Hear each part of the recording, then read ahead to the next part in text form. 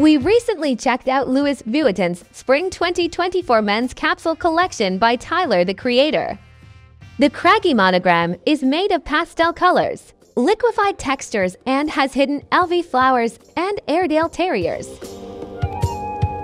This monogram was hand-drawn by Tyler himself. Got that chain on. So hard. Just go. Our top picks from the capsule were the, the Dog on Strap bag, the LV Trainer sneakers in Craggy monogram, Craggy bike bag charm, golf ball holder, and golf balls, Paradise stone necklace, and the LV Flower Waves ring.